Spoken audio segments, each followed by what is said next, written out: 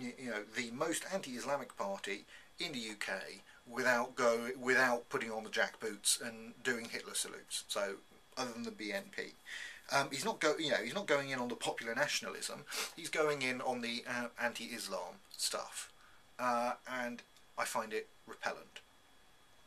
Um, I don't think people should be surprised by Pat um, supporting UKIP. As I say, his atheism is in, incidental to his dislike of Islam and Muslims. So, a brief run through UKIP. Uh, not a party I like. Um, and I have to say, it increasingly confirms my view on Pat Condell. I'm not, I, don't, I wouldn't say he is a racist.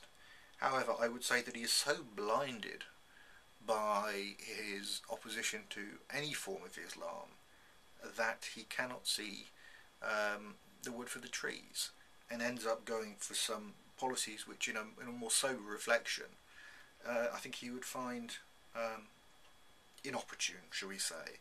Because at the end of the day, if he is really so big about atheism and secularism, he could not possibly support um, a party of populist nationalism that is um, quite tied in with a particular viewing of British of Britishness, um, which has the Church of England in it, and which is allied to an Orthodox Christian party and a Calvinist Christian party. I'm Landon Cole. I'll see you next time.